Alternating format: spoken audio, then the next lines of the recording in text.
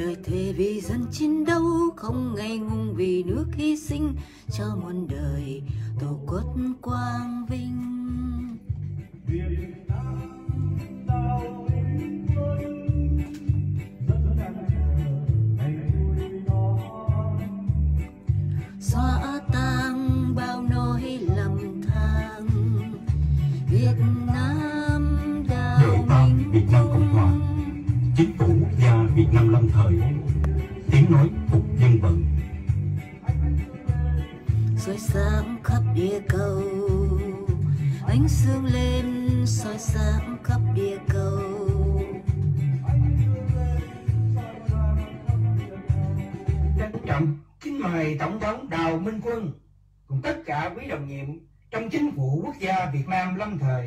đệ tam Việt Nam Cộng Hòa. Làm lễ tam Cộng Hòa. Bắt đầu.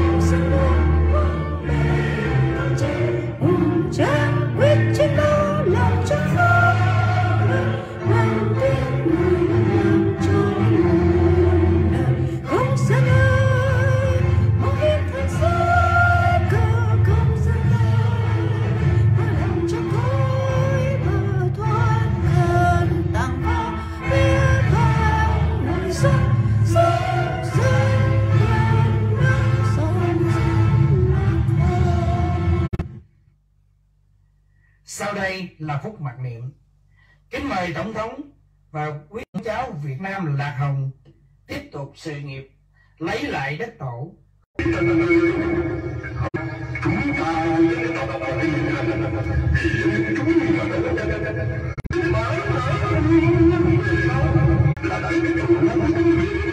là là là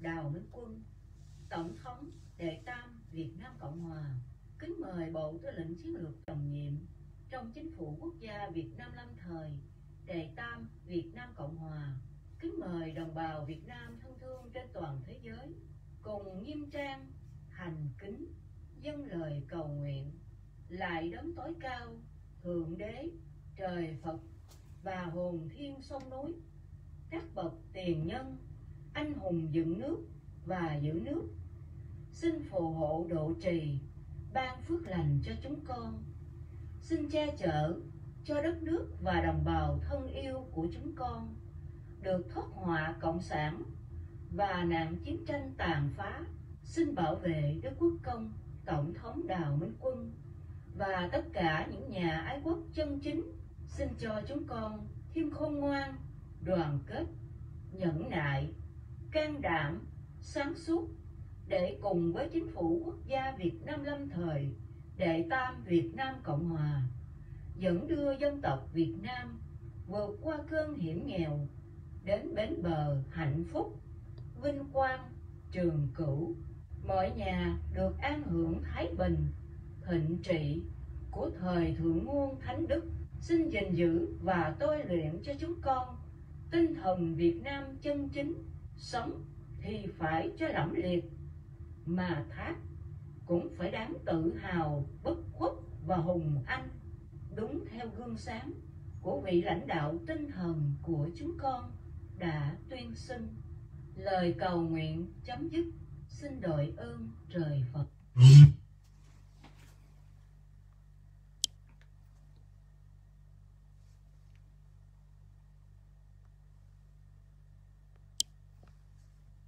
Núi nước Nam vua Nam ở sức trời cớ sao lũ giặc sáng xâm phạm chúng bay sẽ bị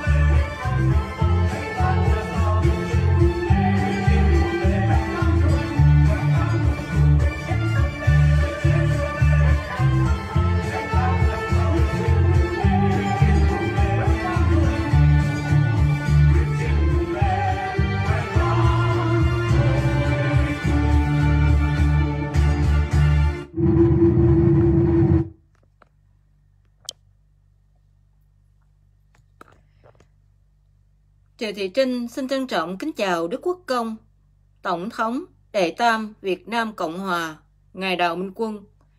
Xin trân trọng kính chào Bộ Tư lệnh Chiến lược Toàn quốc nhiệm, cùng đồng bào Việt Nam thân thương trên toàn thế giới. Hôm nay, chúng ta lại trở lại viễn đàn của Triệu Thị Trinh để cùng chia sẻ thông tin của Chính phủ Quốc gia Việt Nam lâm thời. Thì à, hôm nay Trinh sẽ cùng với anh chị em, cô chú bác chúng ta chia sẻ một bài viết từ Văn phòng Thường trực của Chính phủ Quốc gia Việt Nam lâm thời Đệ Tam Việt Nam Cộng Hòa. Bài viết có tựa đề Chính cương Đào Minh Quân. Thì chúng ta sẽ cùng chia sẻ và sau đó Trinh cũng sẽ chuyển tải uh, bản hiến pháp của Đệ Tam Việt Nam Cộng Hòa để hoàn thành cái trách nhiệm của một thành viên đại biểu trong chính phủ là phải có cái uh, sự đóng góp tiếng nói và công sức của mình trong cái thời điểm hiện nay là chuyển tải thông tin của chính phủ Đại Tam Việt Nam Cộng Hòa đến cho toàn dân Việt Nam trên toàn thế giới đều được biết. Và chúng ta cũng tạo cái niềm tin cho uh, những người mà đã biết hoặc là chưa biết về chính phủ để họ đi tìm hiểu và nhận định cho rõ ràng đường lối, chính sách, chiến lược của chính phủ là dùng tâm trị để uh, kêu gọi lòng dân có nghĩa là chúng ta sẽ cùng với nhau đoàn kết lại để chống giặc ngoại xâm qua cái lá phiếu trưng cầu dân ý của mỗi người dân Việt Nam trên toàn thế giới. Qua 4, 4 năm mà chính phủ Đại Tam Việt Nam Cộng Hòa, trước đó là chính phủ quốc gia Việt Nam lâm thời, đã kêu gọi lá phiếu trưng cầu dân ý để bầu cho Đức Quốc Công Tổng thống Đào Minh Quân làm Tổng thống Đề Tam Việt Nam Cộng Hòa. Trước đó, Ngài nhậm chức Thủ tướng Chính phủ Quốc gia Việt Nam lâm thời và sau khi đã được những lá phiếu của người dân ủng hộ bầu cho Ngài làm Tổng thống Đề Tam Việt Nam Cộng Hòa. Tước hiệu Đức Quốc Công đã được những đại biểu, thành viên trong chính phủ gồm 1.700 vị đại biểu đại diện cho hơn 5 triệu lá phiếu của người Việt Nam trên toàn thế giới cùng ủng hộ chấp nhận tước hiệu Đức Quốc Công để uh, ghi vào cái bản hiến pháp của Đại Tam Việt Nam Cộng Hòa và để cho chúng ta nhớ ơn một vị lãnh đạo đã bỏ tâm sức hy sinh cho công cuộc giải thể tà quyền Cộng sản trong suốt hơn 30 năm. Với cái văn hóa, truyền thống của người Việt Nam là ăn trái nhớ kẻ trồng cây, uống nước nhớ nguồn.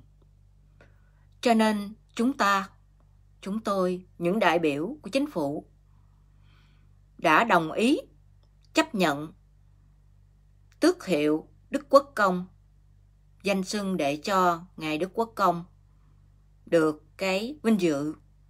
Chúng ta sẽ tôn vinh ngài là một vị có công lao với tổ quốc quê hương dân tộc. Đây là một cái việc làm mà nó vô cùng có ý nghĩa và nó mang một cái tính chất mà biết ơn đức của những người đã xả thân vì nước hy sinh trong đó không riêng gì đức quốc công Tổng thống Đào Minh Quân. Mà chúng ta cũng ghi ơn, ghi nhận những công lao của các vị tiền nhân, anh hùng dựng nước và giữ nước trước đó. Vào những năm trước năm 1975, quân lực Việt Nam Cộng Hòa đã đổ biết bao nhiêu xương máu để gìn giữ hòa bình, nền độc lập tự do cho miền Nam Việt Nam.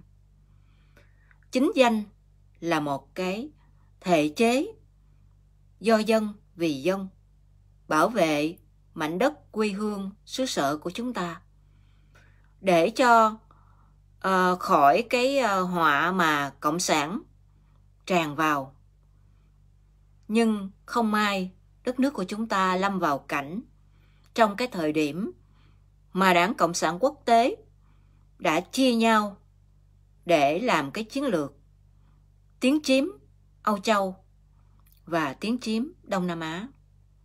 Cho nên đồng minh Hoa Kỳ phải đành bỏ cái chiến trường tại Việt Nam, bỏ đồng minh, Việt Nam Cộng Hòa. Để trấn thủ tại những cái vùng mà nguy hiểm đối với châu Âu và những nước tư bản. Thì theo cái tầm nhìn của Triệu Thị Trinh thì nhận thấy là đồng minh Hoa Kỳ chỉ có một cái quyết định mà thôi. Chỉ có có nghĩa là họ chỉ có một cái chọn lựa mà thôi. Một là chọn lựa trấn thủ ở tại Âu Châu, không cho Cộng sản Đông Âu tràn qua những nước tư bản. Nếu như họ bỏ ngỏ châu Âu và những nước tư bản thì sau này họ sẽ không được cái sự ủng hộ của các nước tư bản. Và các nước tư bản cũng là những nước nền tảng cho công cuộc tự do dân chủ trên thế giới.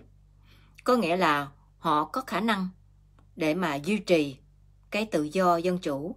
Và sau này cũng chính những nước châu âu này là những nước mạnh mẽ sẽ giúp đỡ cho chúng ta.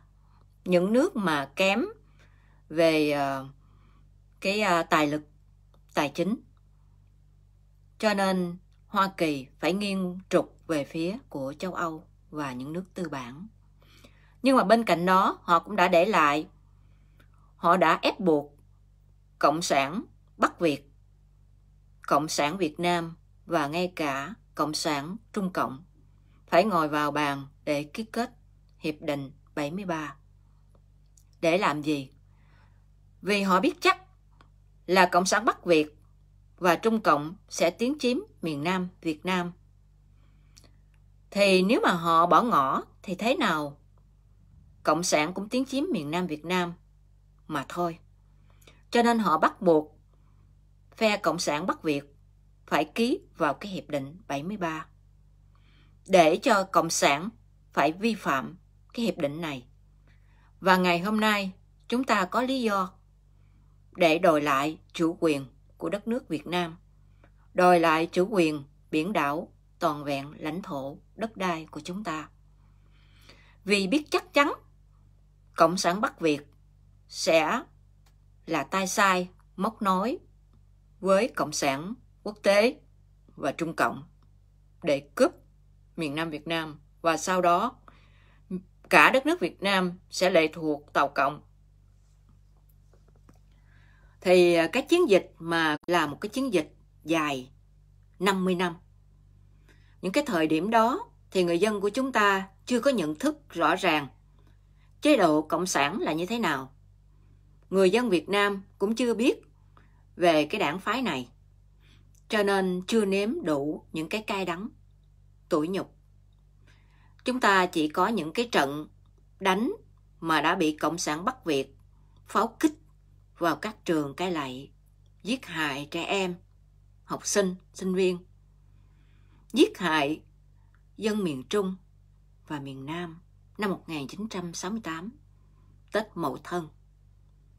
Cộng sản cũng đã giết hại hơn 2.000 đồng bào miền Bắc vào những năm mà Hồ Chí Minh đi vào đất nước của chúng ta, đưa ra cái chương trình cải cách ruộng đất, cải cách ruộng đất để triệt tiêu những nhân tài, trí thức của chúng ta ở ngoài miền Bắc.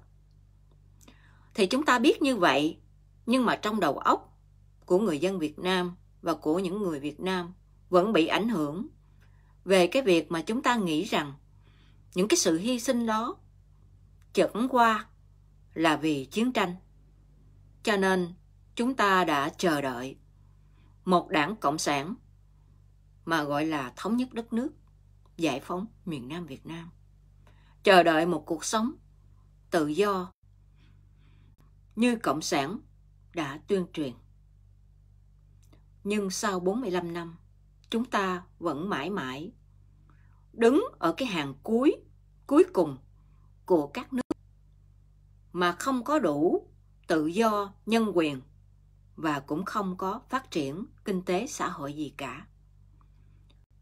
Và Cộng sản Việt Nam một cách uh, gọi là một trăm phần trăm người dân không có tự do nhân quyền, không có tự do tín ngưỡng.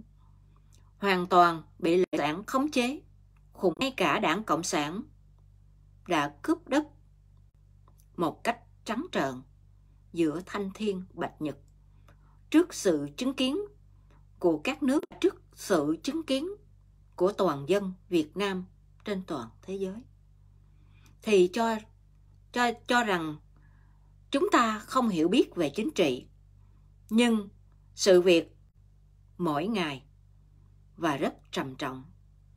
Con em của chúng ta khi mà họ không chịu nổi sự khống chế, đàn áp của Cộng sản. Họ muốn cất lên tiếng nói chính nghĩa thì đã bị Cộng sản giết hại trong đồn công an bằng cách cắt cổ, mổ bụng chỉ trong vòng 24 tiếng đồng hồ thì nạn nhân đã không còn gì nữa, không còn tiếng nói, không còn linh hồn. Và trong số đó, chúng ta cũng điều tra và biết được có thể là trong cái số lượng người mà bị đảng Cộng sản giết hại một cách tàn độc thì cái số lượng lên tới hơn 200 người. Họ chết mà không minh bạch. Họ chết một cách tức tưởi. Thế còn chúng ta thì sao?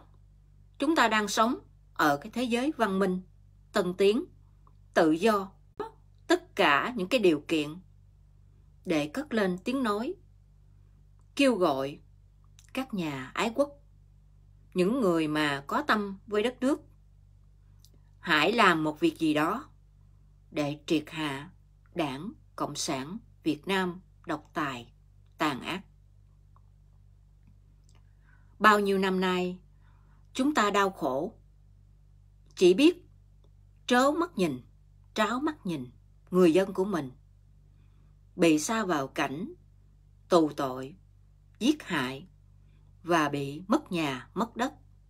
Con cháu của chúng ta thất học, không có được đi ăn học, không có biết biết gì về lịch sử của nước nhà, không biết nguồn gốc và không cũng cũng không biết tại sao mà chúng lại bị khổ sở như thế. Chúng ta biết rất rõ những điều đó vì sao mà đất nước của chúng ta bị như thế. Vì Tàu Cộng đã âm mưu xâm chiếm đất nước của chúng ta không tiếng súng sau năm 1975.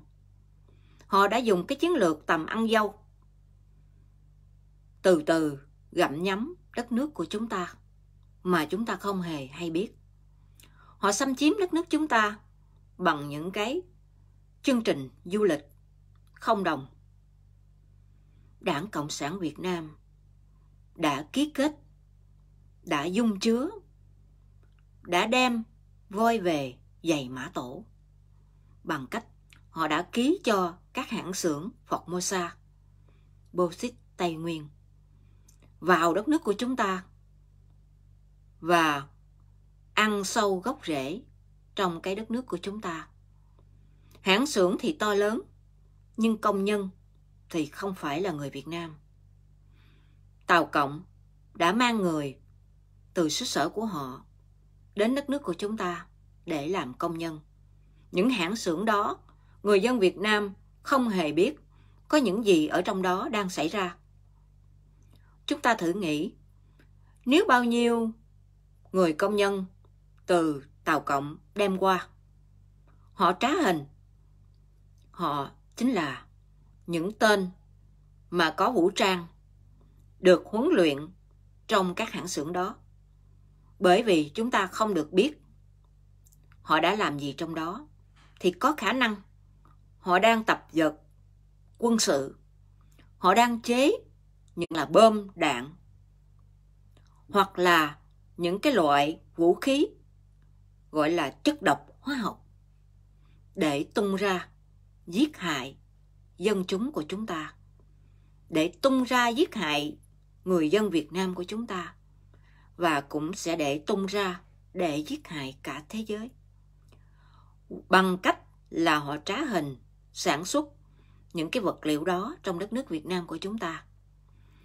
Sau khi mà thế giới, nếu như phát hiện được, thì đất nước Việt Nam của chúng ta cũng sẽ không tránh khỏi liên lụy bởi vì đã chứa chấp những kẻ mà có giả tâm giết hại thế giới, như là cái chiến, cái dịch virus corona này đang xảy ra mà cộng sản Việt Nam vẫn tuyên truyền là đất nước Việt Nam của chúng ta ít có người bị nhiễm virus corona. Chúng ta hãy thử đặt một câu hỏi.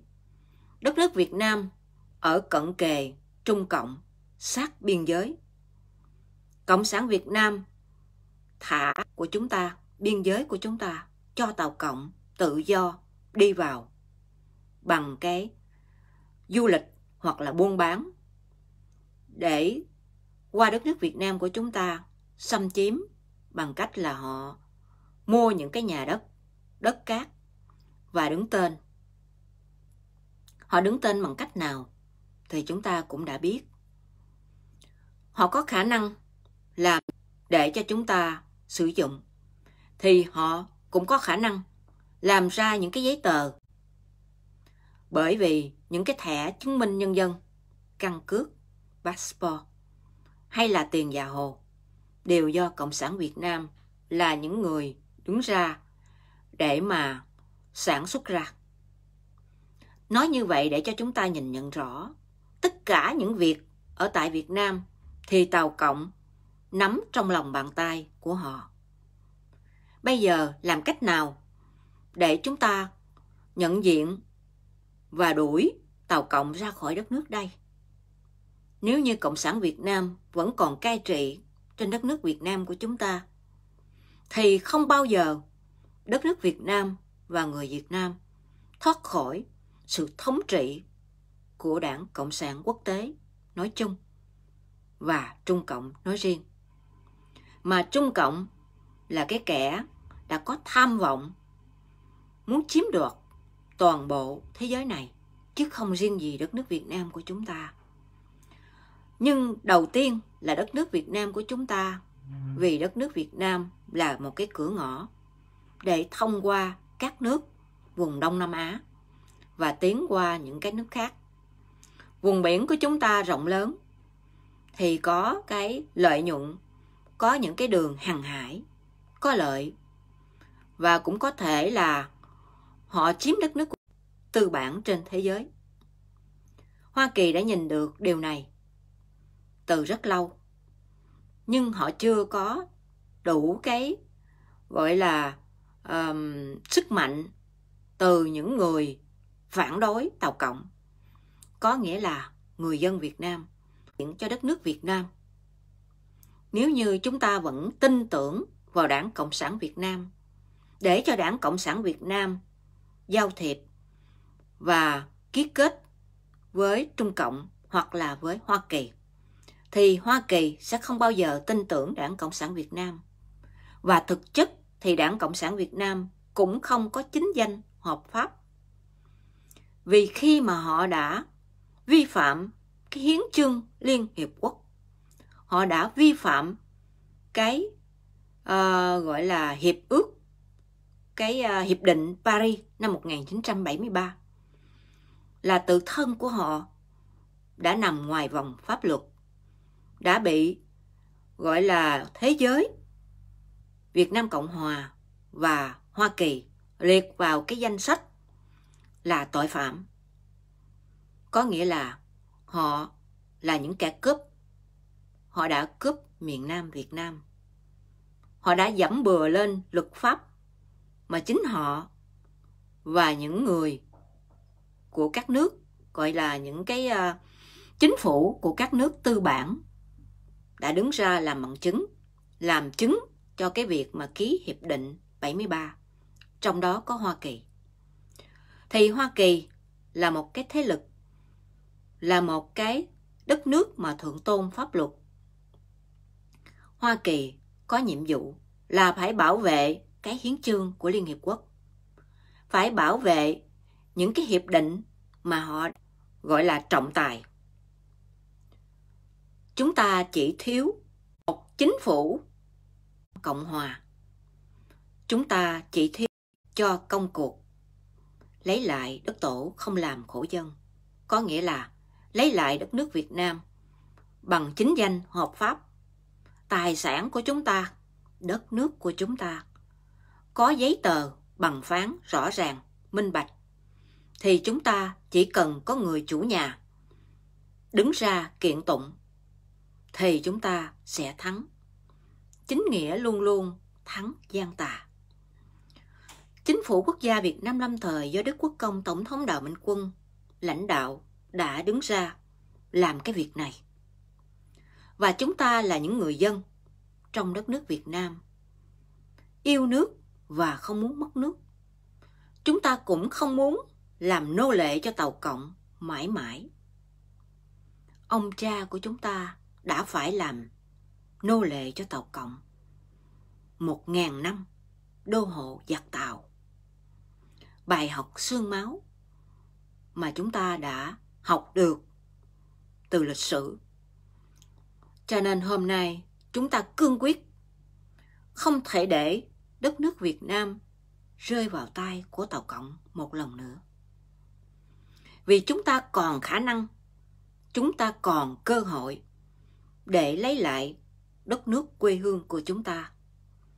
Nếu như chúng ta đồng lòng, ủng hộ chính phủ quốc gia Việt Nam lâm thời Đệ Tam Việt Nam Cộng Hòa và ủng hộ Đức Quốc Công Tổng thống Đào Minh Quân qua lá phiếu trưng cầu dân ý, thì sức mạnh, nội lực quốc gia của chúng ta sẽ tăng lên gấp bội.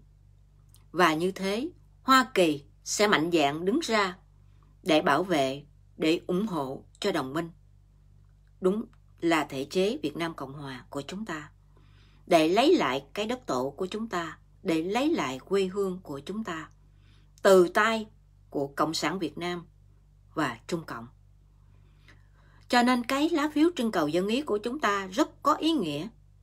Vì nếu mà chúng ta không chấp nhận làm nô lệ cho Trung Cộng, mà chúng ta vẫn im tiếng, lặng hơi, chúng ta không có một hành động nào, dù nhỏ hay lớn, thì chúng ta không chống thì chày, cũng sẽ mất nước và cũng sẽ làm nô lệ cho Trung Cộng. Vì tinh thần Việt Nam của chúng ta không có sự gan dạ của chúng ta không có. Thì thế nào chúng ta cũng bị thế lực thù địch, xâm lăng, tào cộng, khống chế và khủng bố tinh thần. Bây giờ những người việt nam yêu nước chân chính đã trưng cầu dân ý cho chính phủ quốc gia việt nam lâm thời đệ tam việt nam cộng hòa và đức quốc công tổng thống đào minh quân trong suốt hơn 4 năm nay. Chúng ta là những người đi đầu trong công cuộc giải thể tà quyền cộng sản, cứu nước, cứu dân. Theo cái lá cờ vàng ba sọc đỏ và dưới trướng của Đức Quốc Công, Tổng thống Đào Minh Quân. Chúng ta phải khẳng định cái lập trường tư tưởng của mình rằng khi đất nước lâm nguy thì thất phu hữu trách. Chúng ta biết khi chúng ta làm cuộc cách mạng chúng ta đấu tranh cho dân tộc, quê hương, đất nước của chúng ta, thì chúng ta phải có hy sinh. Hy sinh cái gì? Vì sao mà chúng ta phải hy sinh thì chúng ta đã biết. Chúng ta có gì để hy sinh? Chỉ là những cái tôi, những cái lòng gọi là ganh tị, nhỏ mọn, thì chúng ta hãy gác bỏ lại một bên. Những cái oan tình mà nó không có đáng kể, có nghĩa là khi chúng ta mỗi người một nơi, không ai biết ai, chúng ta là những người Việt Nam trên toàn thế giới, cùng đấu tranh cho dân tộc quê hương đất nước. Nhưng chúng ta không phải là những người cùng chung sống trong mái gia đình. Thì làm sao chúng ta có thể hiểu biết biết hết những tánh tình. Những cái gọi là tánh hư tật xấu của nhau. Nhưng những cái đó chỉ là những cái tiểu tiết mà thôi. Chúng ta lấy cái tinh thần dân tộc làm trọng. Lấy sự đồng hành. Lấy cái công cuộc đấu tranh mà chúng ta đã bao nhiêu ngày đi theo đường lối của chính phủ quốc gia Việt Nam lâm thời Đệ Tam Việt Nam Cộng Hòa do Đức Quốc Công đề ra. Chúng ta sẵn sàng tham gia chính phủ đặt bút ký vào cái tờ đơn mà không có một thế lực nào, không có một cá nhân nào ràng buộc hay là bắt buộc chúng ta. Chúng ta nhận định từ trong cái tầm tâm tư của chúng ta, tầm nhìn của chúng ta, từ tâm thức của chúng ta mà chúng ta thấy được cái thế chính nghĩa của Đức Quốc Công và chính phủ quốc gia Việt Nam lâm thời Đệ Tam Việt Nam Cộng Hòa. Từ đầu chúng ta đã thấy như vậy và chúng ta đã quyết định tham gia chính phủ.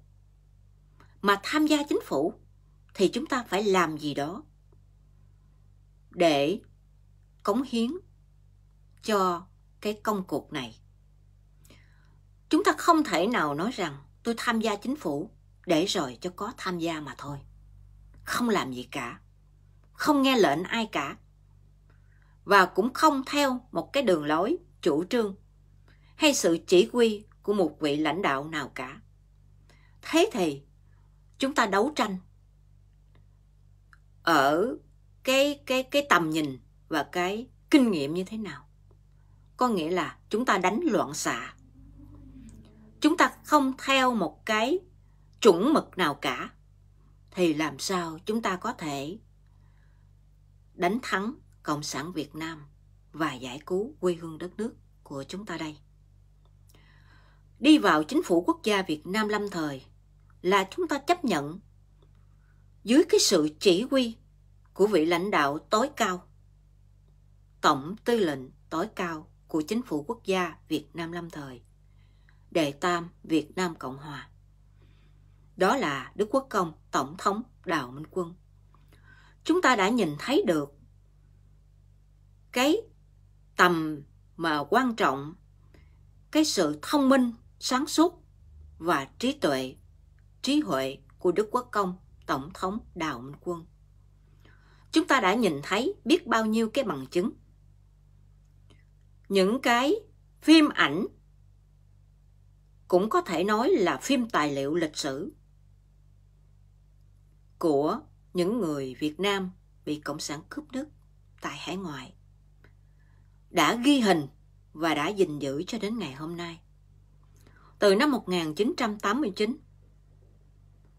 Thủ tướng Đào Minh Quân đã được ba thế hệ lão niên, trung niên và thanh niên.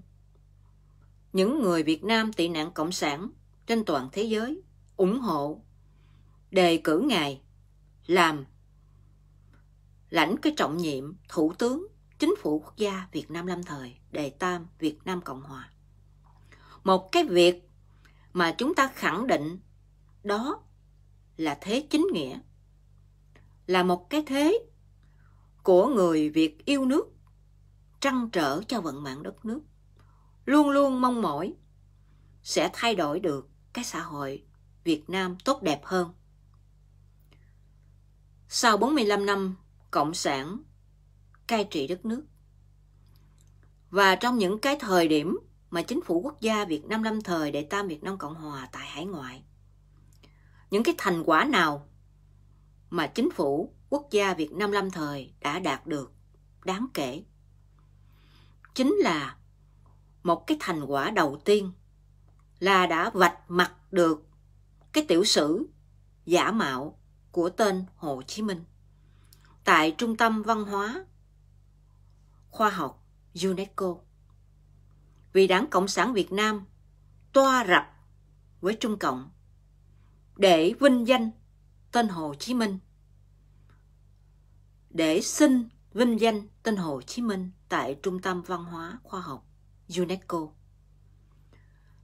Nhưng mà khi đệ đơn thì toàn thể những người Việt Nam tị nạn cộng sản tại hải ngoại đều phản đối kịch liệt. Những lá thơ, hàng tấn lá thơ đã được gửi đến Trung tâm Văn hóa Khoa học UNESCO Liên Hiệp Quốc nhưng đều để bị cộng sản phá phá vỡ có nghĩa là cộng sản đã thuê mướn những tên luật sư loại mà có cái trình độ phản biện, gọi là cao cấp, để đấu lại với những người Việt quốc gia.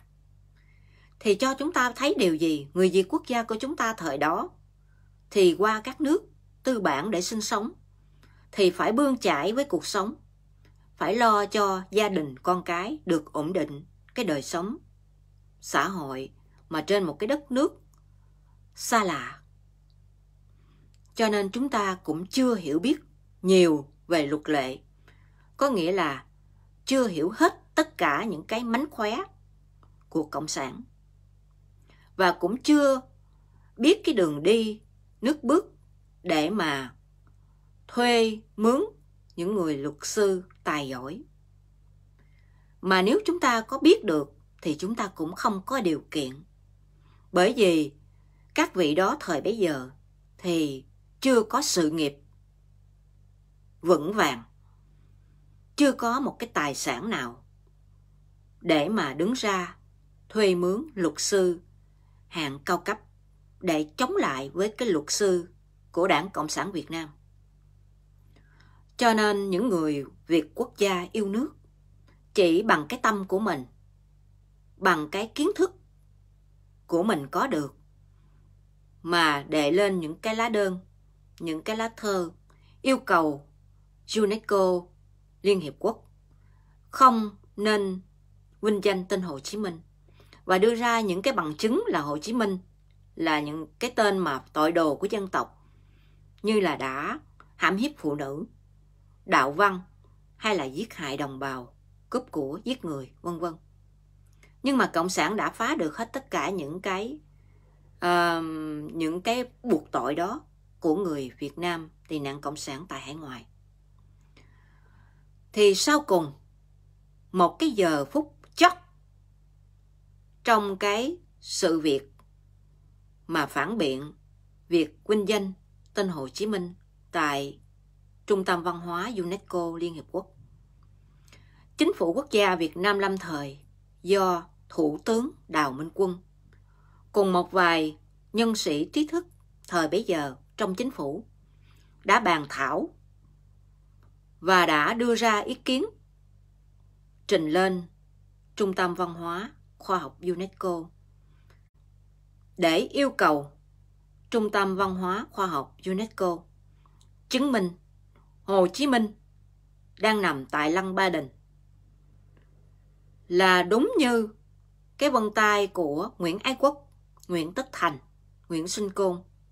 Có nghĩa là Nguyễn Ái Quốc, Nguyễn Tất Thành, Nguyễn Sinh Côn và cái xác của Hồ Chí Minh làm cách nào thì UNESCO phải bắt buộc cộng sản phải chứng minh được điều này thì những người Việt quốc gia tị nạn cộng sản sẽ không phản đối việc vinh danh Hồ Chí Minh nữa. Vì thực chất đã không còn cái lý do nào để phản đối. Nhưng khi mà Trung tâm Văn hóa Khoa học UNESCO gợi ý và đòi hỏi phải trao cho Trung tâm Văn hóa Khoa học UNESCO cái bằng chứng, cái dấu tay của Hồ Chí Minh tại nằm trong Lăng Ba Đình để họ kiểm nghiệm xem xác của Hồ Chí Minh nằm tại Lăng Ba Đình có phải là xác của Nguyễn Ái Quốc, Nguyễn Sinh Côn, Nguyễn Tất Thành hay không. Cộng sản Việt Nam không đưa ra được bằng chứng, có nghĩa là họ không dám trình cái dấu vân tay của Hồ Chí Minh ra trước Liên Hiệp Quốc, Liên Hiệp. Cái việc mà vinh danh Hồ Chí Minh là danh nhân văn hóa thế giới đã bị văn hóa UNESCO gạt bỏ, có nghĩa là xếp lại. Không có vinh danh Hồ Chí Minh. Nói chung là một cái thành quả đầu tiên mà rất ư là vĩ đại Việt Nam lâm thời đệ tam Việt Nam Cộng Hòa do Đức Quốc Công Tổng thống Đào Minh Quân lãnh trọng nhiệm. Cho thấy điều gì? Đây là một cái bước tiến để chặt đứt gốc rễ của Đảng Cộng sản Việt Nam, để làm lung lay cái chế độ của Đảng Cộng sản Việt Nam độc tài, cai trị tại Việt Nam. Từ đó bắt đầu một cái công cuộc cách mạng tâm trị Chính phủ quốc gia Việt Nam lâm thời Đệ Tam Việt Nam Cộng Hòa đã qua bao nhiêu năm tháng, đã qua cái trình tự để mà lần lượt chúng ta tiến đến ngày hôm nay là một cái uh, gọi là giai đoạn cuối cùng. Một giai đoạn cuối cùng là kêu gọi trưng cầu dân ý để toàn dân cùng gọi là gia nhập vào cái công cuộc cứu nước. Chúng ta cũng có thể so sánh với cái hội nghị Diên Hồng của các vị tiền nhân của chúng ta thời trước để chúng Việt Nam, xã hội Việt Nam của chúng ta hôm nay rất cần những tấm lòng qua lá phiếu trưng cầu dân Ý, những của người dân Việt Nam trên toàn thế giới chỉ qua lá phiếu trưng cầu dân Ý là chúng ta có để tiêu diệt tà quyền Cộng sản Việt Nam. Bắt buộc Cộng sản Việt Nam phải trao trả cái quyền lãnh đạo đất nước Việt Nam cho thể chế đệ tam Việt Nam Cộng Hòa. Vì nếu như Cộng sản Việt Nam cố tình, ngoan cố, không trao trả chính quyền lại cho đệ tam Việt Nam Cộng Hòa, thì cũng có nghĩa là Đảng Cộng sản Việt Nam sẽ bán nước Việt Nam cho Trung Cộng. Tội đồ của dân tộc là những tên chấp bu Cộng sản Việt Nam. Lúc đó nếu như thế giới họ vì cái tình đồng minh với Đại Tam Việt Nam Cộng Hòa, vì cái thế chính danh, chính nghĩa của Đại Tam Việt Nam Cộng Hòa, họ sẽ đem cái lực lượng bảo an hòa bình, có nghĩa là cái lực lượng gìn giữ hòa bình vào đất nước những tên tội đồ của dân tộc Việt Nam. Đó là những tên chấp bu Cộng sản Việt Nam. Gọi là chính nghĩa và có một cái sức mạnh, sự ủng hộ của thế giới và Liên Hiệp gì cả. Nhưng Đức Quốc Công Tổng thống Đào Minh Quân vẫn trăn trở. Ngài không muốn chiến tranh xảy ra. Giai đoạn mà chúng ta còn có thể kêu gọi lòng dân. Chúng ta còn có thể dùng lời nói, dùng tâm trị, dùng cái tình thương của đồng bào cùng chung, cái xứ sở quê hương khuyên bằng cách như Triệu Thị Trinh đã lên livestream để kêu gọi anh chị em của chúng ta góp một lá phiếu, kêu gọi những đảng viên Cộng sản Việt Nam quay đầu về với quốc gia dân tộc Việt Nam. Hãy lột bỏ chiếc áo cộng sản, vô thần, vô nhân tính, để rồi giúp đỡ cho chính phủ trở về trong những ngày đầu tiên, bảo an xã hội. Dùng cái vũ khí đang có, chúng ta bảo vệ người dân, bảo vệ chính nghĩa quốc gia dân tộc, bảo vệ cho vị nguyên thủ quốc gia của chúng ta, Đức Quốc Công, Tổng thống Đào Minh Quân. Nói đến đây chúng ta cũng cần nhắc đến, hiện tại những giới chức, thành viên, đồng nhiệm trong chính phủ và những người Việt Nam yêu nước chân chính đã nhận ra được thế chính nghĩa, chính danh hợp pháp và sự hy sinh tột cùng của Đức Quốc Công Tổng thống Đào Minh Quân. Tôi sẽ cùng nhau ủng hộ Đức Quốc Công Tổng thống Đào Minh Quân đến cùng. Để Ngài có thể an toàn, an bình mà trở về đất nước Việt Nam. Triệt tiêu tà quyền Cộng sản, đuổi tàu cộng xâm lược ra khỏi đất nước. Chúng ta đã khẳng định tư tưởng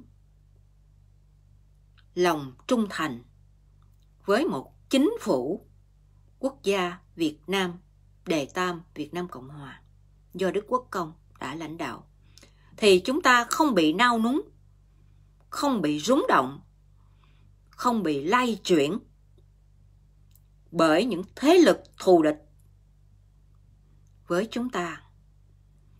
Chúng đã âm mưu lập ra những cái mưu kế gian manh xảo nguyệt Chúng vu khống chính phủ quốc gia Việt Nam lâm thời ở trên trang mạng Wikipedia. Chúng nói rằng chính phủ của chúng ta là khủng bố. Chúng hoàn toàn vu khống mạ lị, gán ghép. Vì thực chất, chính phủ quốc gia Việt Nam lâm thời, đệ tam Việt Nam Cộng Hòa và đường lối chính sách nhân đạo của Đức Quốc Công Tổng thống Đào Minh Quân. Chúng tôi chỉ dùng tâm trị, dùng lời nói, chính nghĩa để khuyên nhủ, để kêu gọi người dân, trưng cầu dân ý. Và cái lệnh mà cho phép trưng cầu dân ý cũng đã do Cộng sản Việt Nam chấp nhận với thế giới. Có nghĩa là họ đã ký chấp nhận cho người dân Việt Nam được trưng cầu dân ý trong một cái bộ luật mà gọi là tự do trưng cầu dân ý. Thì chúng ta phải biết chúng ta có quyền tự do được trưng cầu dân ý. Cho người lãnh đạo nào chúng ta thấy là có đức độ, có tài năng và có chính danh hợp pháp để lấy lại đất tổ không làm khổ dân lấy lại toàn bộ lãnh thổ Việt Nam từ tay của Tàu Cộng và tà quyền Cộng sản Việt Nam đang cướp nhà, cướp đất của người dân. Đây là một cái bộ luật mà Liên Hiệp Quốc, quốc tế, Hoa Kỳ với sự áp lực của chính phủ đã áp lực lên Cộng sản Việt Nam, bắt buộc Đảng Cộng sản Việt Nam phải ký để cho người dân được quyền trưng cầu dân ý. Thì cái bộ luật trưng cầu dân ý đã có đăng trên các trang mạng uh, đại chúng, Wikipedia, Google. Quý anh chị em cô chú bác hãy tìm hiểu và lấy đó để làm cái lý do mà chúng ta tự do trưng cầu dân ý. Không để Cộng sản Việt Nam bắt nạt hay khủng bố tinh thần vì cái việc mà chúng ta trưng cầu dân ý, hợp pháp theo cái đường lối chính sách được thế giới ủng hộ chúng ta là hãy lấy cái điều lệ này để nói với họ thì cho nên, tôi nhắc lại một lần nữa những đại biểu thành viên đồng nhiệm trong chính phủ, những người còn đang phục vụ trong chính phủ quốc gia Việt Nam lâm thời Đại Tam Việt Nam Cộng Hòa.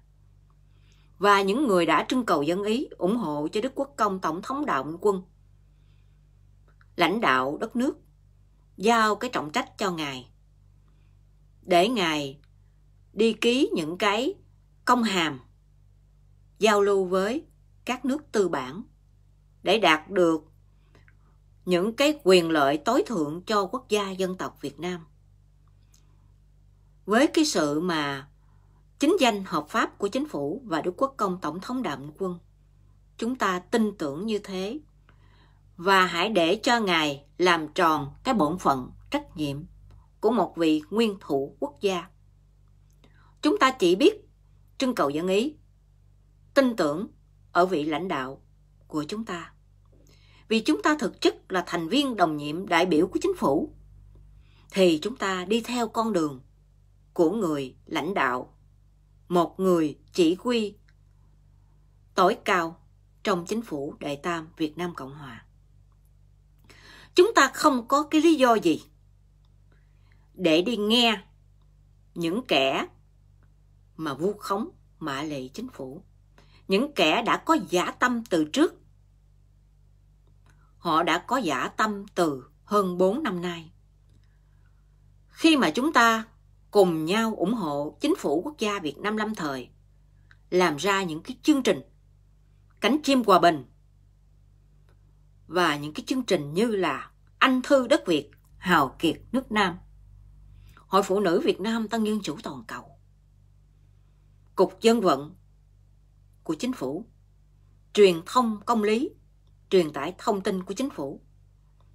Từ những ngày tháng đầu tiên, chúng ta đã nhìn thấy thế chính nghĩa của chính phủ. Chúng ta đã nhìn thấy những kẻ gian manh, xảo trá, quỷ quyệt, làm việc tai sai cho Cộng sản, chống phá chính phủ quốc gia Việt Nam lâm thời để tam Việt Nam Cộng Hòa như thế nào. Chúng ta đã cùng nhau bảo vệ Đức Quốc Công, Tổng thống Đào Minh Quân bằng tiếng nói chính nghĩa của những người dân Việt Nam trên toàn thế giới. Tại sao hôm nay có những người quay mặt và lại đi nghe những kẻ thù của chúng ta. Trước đó, chúng ta đã biết rất rõ bộ mặt gian manh, xảo nguyệt của họ. Ngày hôm nay không có lý nào. Chúng ta lại đi quỳ gối, đi phục vụ cho cái quyền lợi của những kẻ gian manh, xảo nguyệt đó. Những kẻ đã nhận những cái quyền lợi từ đảng Cộng sản Việt Nam. Những kẻ trá hình đấu tranh đòi tự do dân chủ cho Việt Nam. Đòi thả tù nhân lương tâm. Tù nhân lương tâm là cái gì?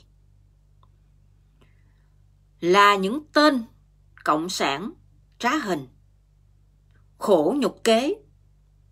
Và sau đó lại được những người ở hải ngoại, gọi là còn mù mờ về cái âm mưu của cộng sản, đưa họ qua đất nước tự do. Để rồi họ lẫn vào trong cái hội đoàn tổ chức của những người việt yêu nước tại hải ngoại. Họ đánh phá kịch liệt. Vậy thì không lẽ nào chúng ta không nhìn ra điều này? Quý vị hãy nhìn xem. Đầu tiên là chúng ta tham gia chính phủ để cứu dân, cứu nước, không màng danh lợi, không màng hy sinh. Chúng ta đóng góp một chút công sức cho chính phủ. Để chính phủ tiếp tục gọi là tiến nhanh, tiến mạnh để trở về đất nước quê hương của chúng ta nhanh nhất.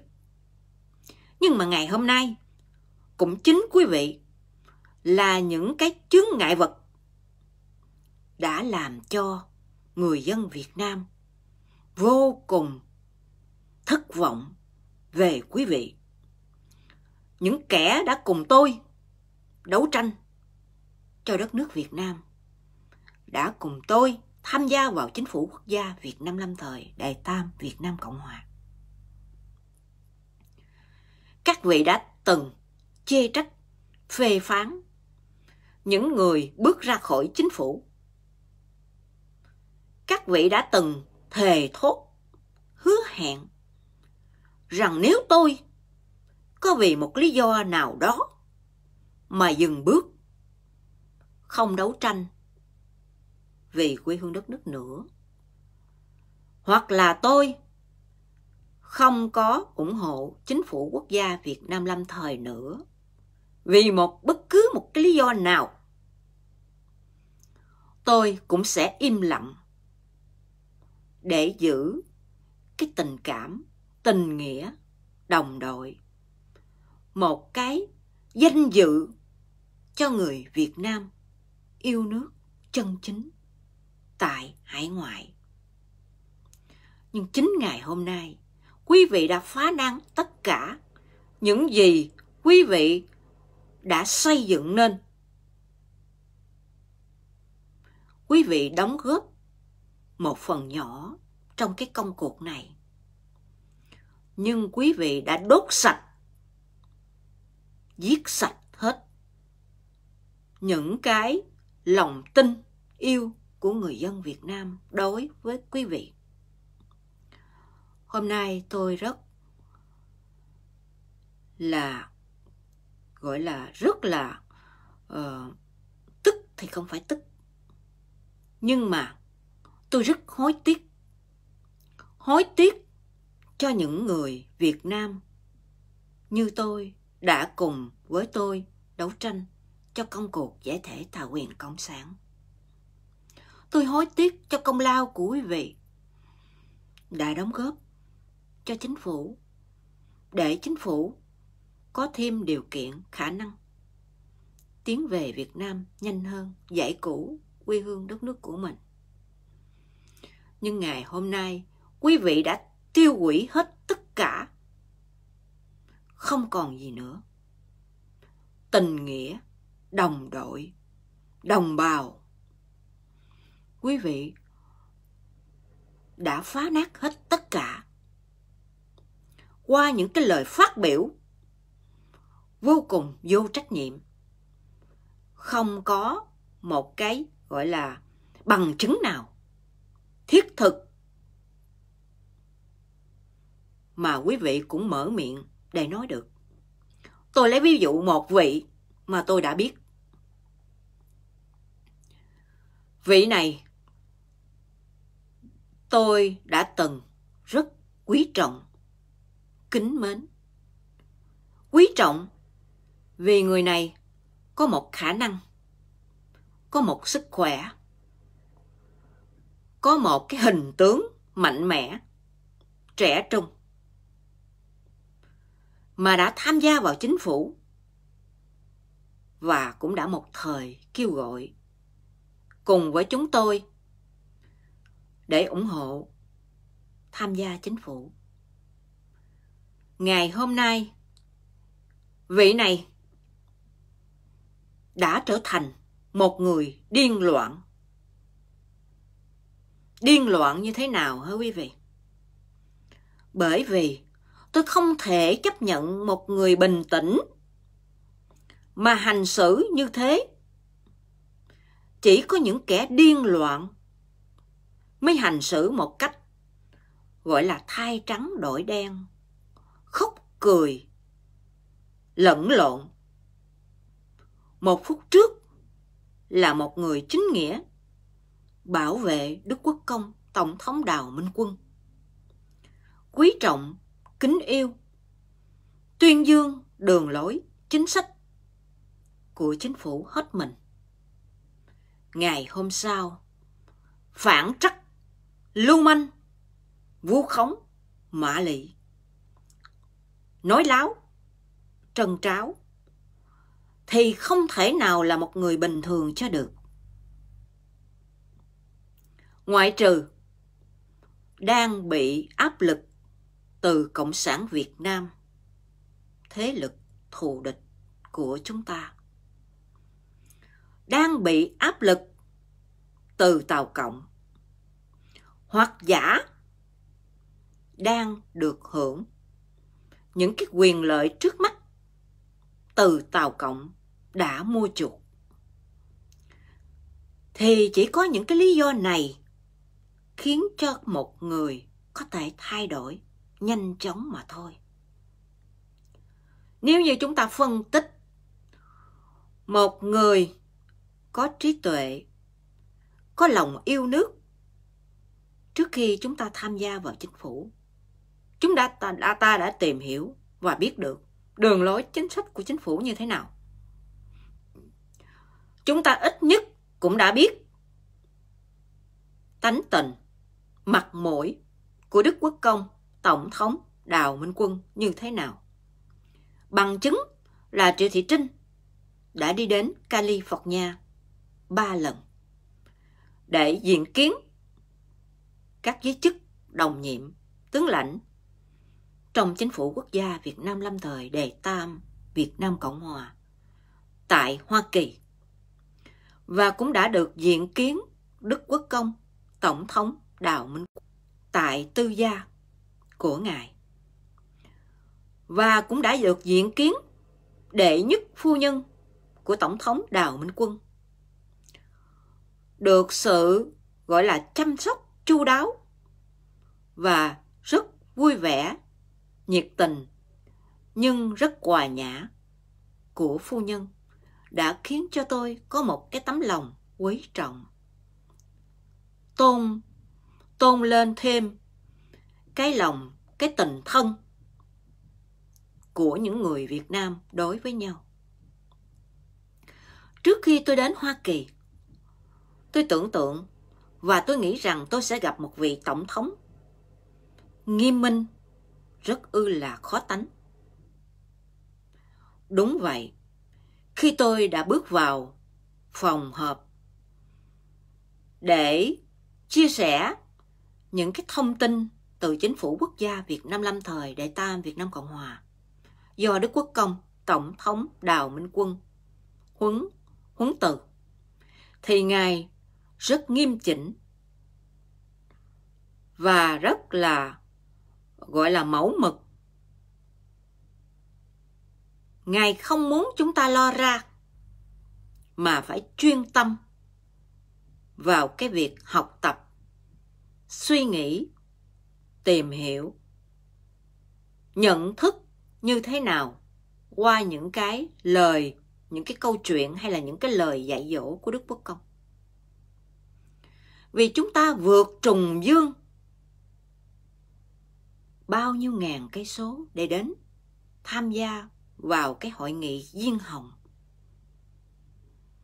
của chính phủ quốc gia Việt Nam lâm thời. Để tạng mặt người lãnh đạo công cuộc giải thể tà quyền cộng sản thì không có lý nào. Chúng ta đùa giỡn, đùa cợt hay là khinh thường đúng như thế. Chúng tôi đã được học một cái bài học là phải nghiêm chỉnh, đàng hoàng, xác định lập trường tư tưởng rõ ràng, minh bạch, rằng chúng ta tham gia chính phủ để hy sinh, cứu nước. Không để, không phải để có những quyền lợi hay là không phải để có những cuộc du ngoạn. Ăn chơi xa xỉ. Nhưng sau khi buổi họp đã kết thúc, đức quốc công tổng thống đào minh quân ôn tồn. Hòa nhã. Và muốn chúng tôi gọi ngài bằng anh tư. Để chúng ta có một cái tình thân gia đình. Để cùng tìm hiểu mọi cái thành phần trong chính phủ quốc gia Việt Nam lâm thời, Đại Tam Việt Nam Cộng Hòa, để có được một cái tình thân để cùng san sẻ những khó khăn cho nhau, những buồn vui trong cái thời gian mà chúng ta là đồng nhiệm. Những cái thông cảm cảm thông cho một người chưa từng quen biết, nay đã trở thành đồng nhiệm cùng chung đường lối chính sách của chính phủ. Có nghĩa là chúng ta đã cùng chung nhau một cái tư tưởng lớn, một cái sự hy sinh mà chúng ta đã cùng với nhau. Có nghĩa là cái tư tưởng cứu nước sẵn sàng hy sinh, mà không vì quyền do. Đầu tiên, để chúng ta quý trọng nhau, trân quý nhau và vô cùng thân thiết. Chứ thực chất, chúng ta đã từng tâm sự với nhau điều gì đâu. Chúng ta đã cùng nhau ở chung một mái gia đình bao nhiêu ngày đâu. Nhưng mà quý vị đã vì một cái gì đó.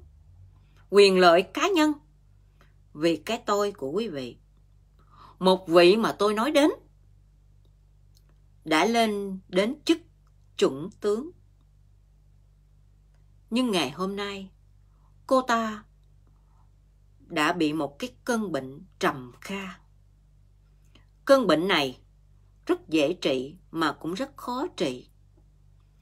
Vì chỉ cần đặt cái tôi xuống gần với hiện tại, với xã hội việt nam, để nhìn người dân việt nam đau khổ như thế nào.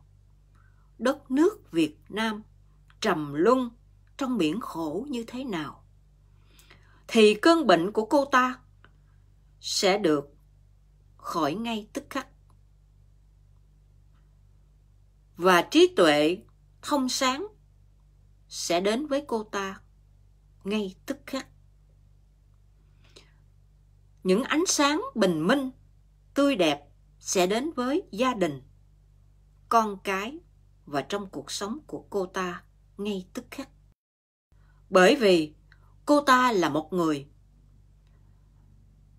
có văn hóa, được học hành trong cái xã hội hoa kỳ, trong cái xã hội tự do.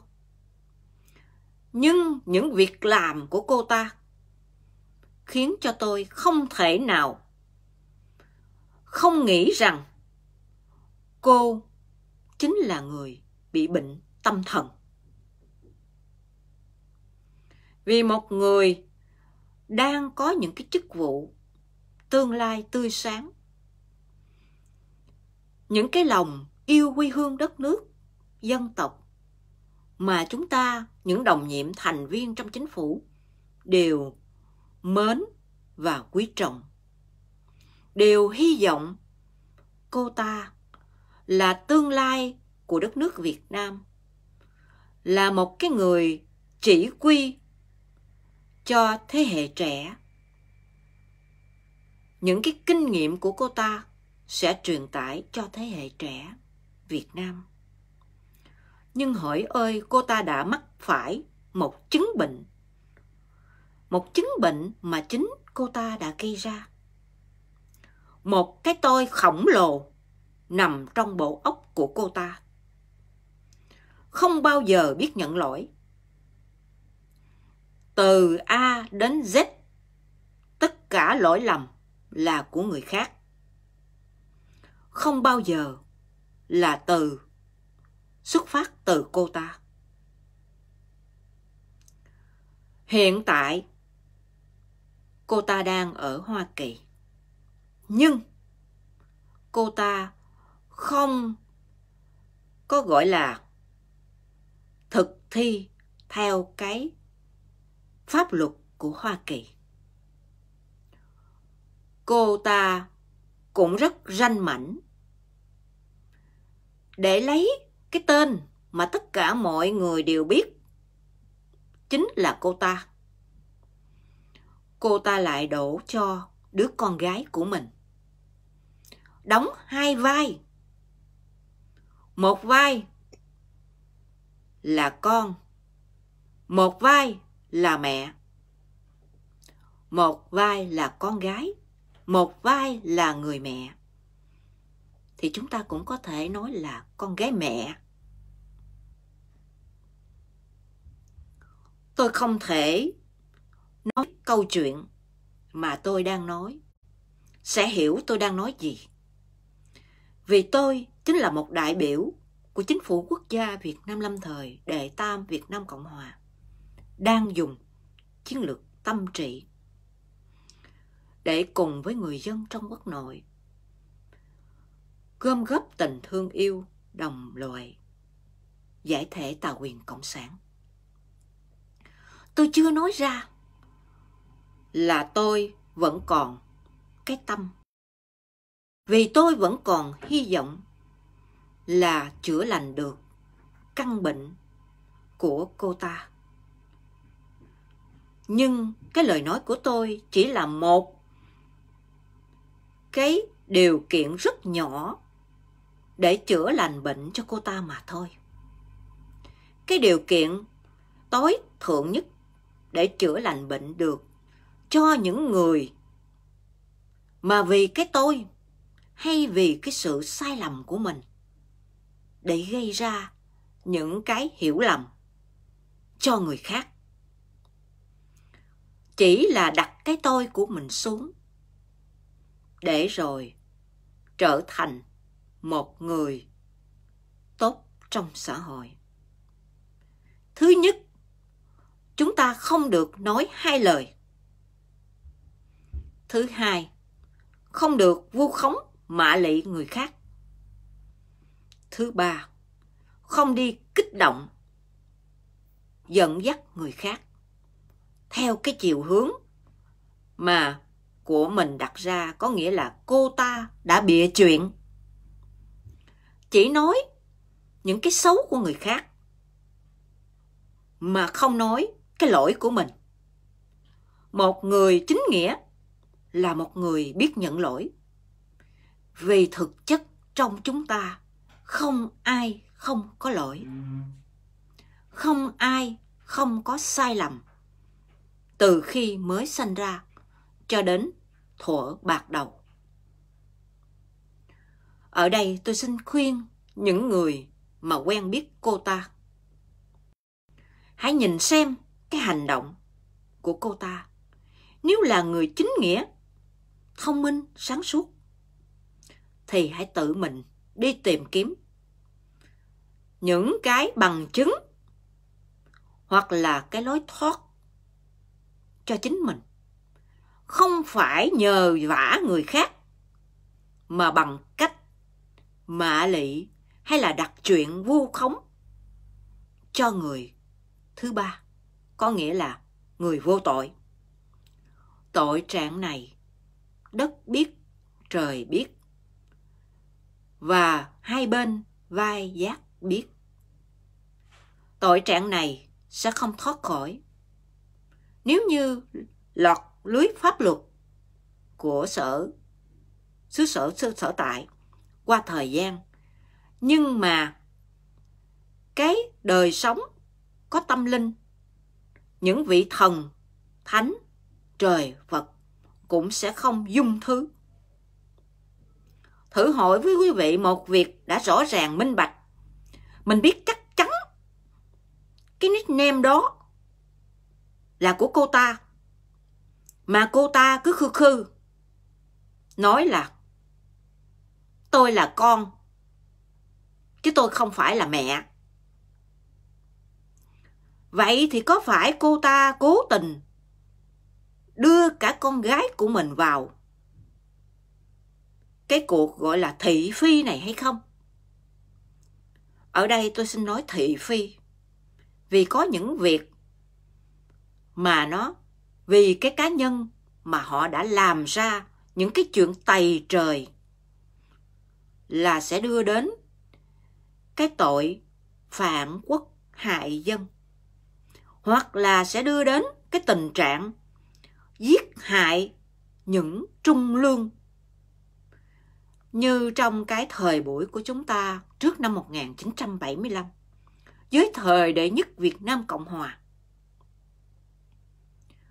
Cố tổng thống Ngô Đình Diệm đã bị ai sát hại? Ngày hôm nay lịch sử chưa có phơi bày sự thật. Nhưng mà khi chúng ta nhìn cái sự việc với một con mắt của những người bình thường, thì chúng ta thấy là chính người Việt Nam của chúng ta đã tự giết hại lẫn nhau. Do cái âm mưu của ai?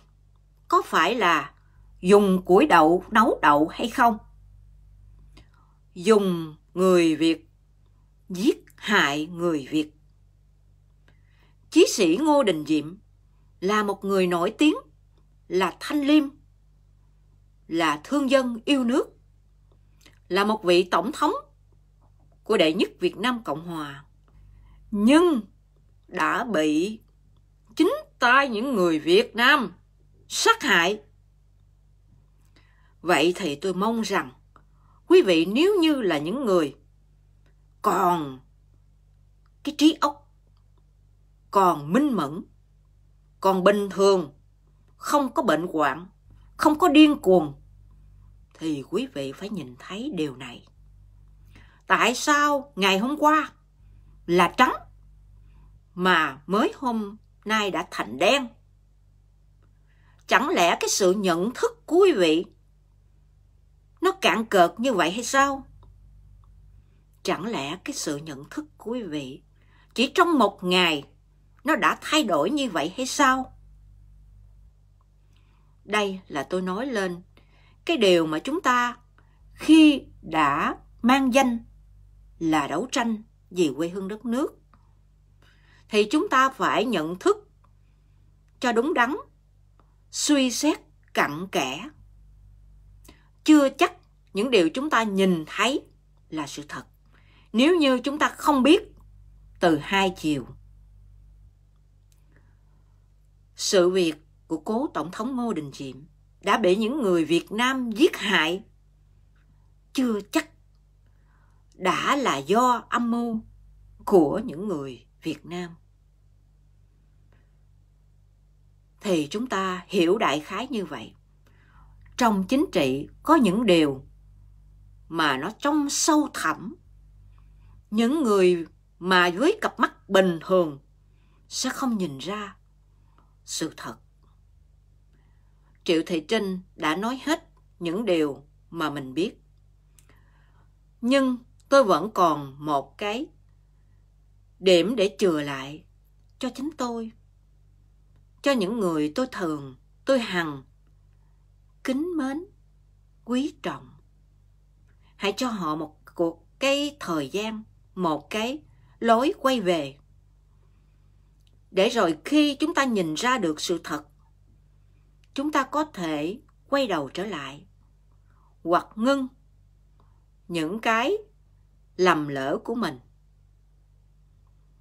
để không có phải mang tội phản quốc, hại dân.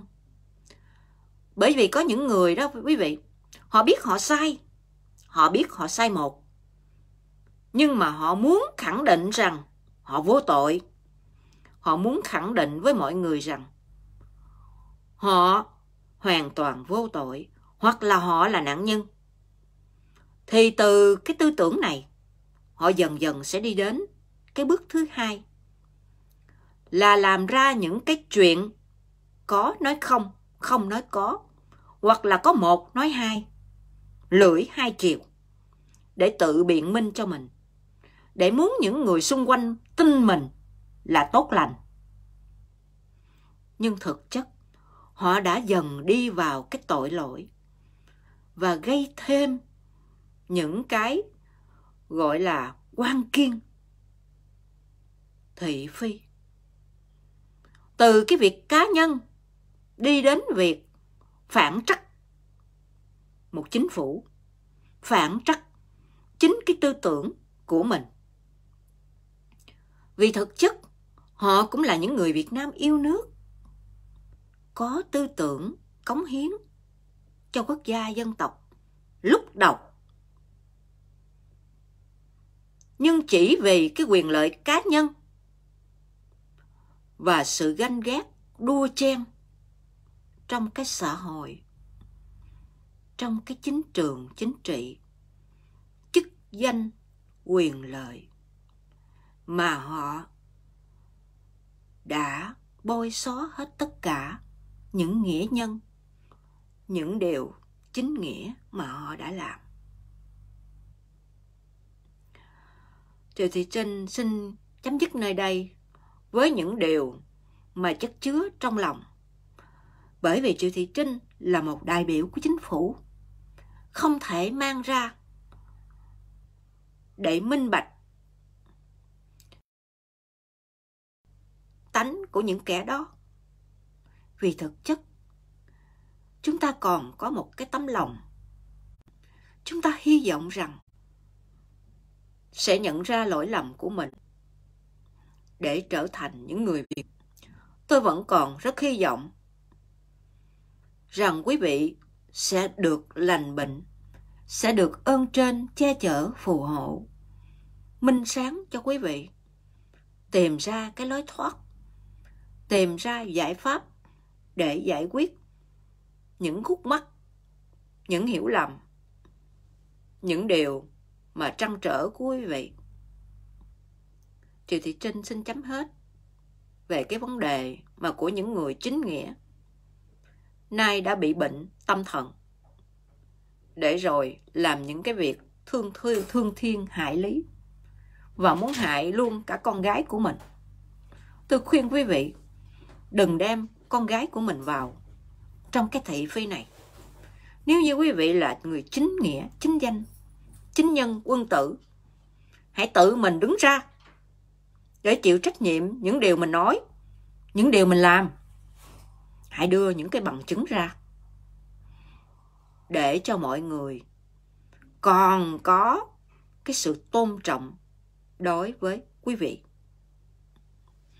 Đừng nói trong gió, trong mây để rồi gây ra những cái hiểu lầm để làm việc yêu nước muốn giải thể tàu quyền Cộng sản Việt Nam. Chính phủ quốc gia Việt Nam lâm thời Đại tam Việt Nam Cộng Hòa đã và vẫn luôn luôn theo cái đường lối chủ trương. Việt Cộng, bỏ Cộng còn Việt Việt không giết Việt nếu như quý vị là một người Việt quốc gia mà quý vị mang tư tưởng của Cộng sản, thì không thể nào chúng ta chấp nhận được. Còn nếu những người Cộng sản nhưng đã biết quay đầu về với chính nghĩa quốc gia thì họ chính là những người Việt Nam chân chính. Vì đúng theo cái đường lối chính sách của chính phủ quốc gia Việt Nam lâm thời đệ tam Việt Nam Cộng Hòa, từ lúc đầu chúng ta đã nghe và đã hiểu. Việt Cộng bỏ Cộng còn Việt. Việt không giết Việt. Chúng ta không có bị mắc lừa. Chúng ta không bị cái âm mưu của Tàu Cộng muốn dẫn đưa chúng ta vào cái bẫy của họ đã đặt sẵn. Đó là dùng củi đậu nấu đậu. Bây giờ thì Trinh sẽ đọc cái thông báo chính cương Đào Minh Quân để cùng chia sẻ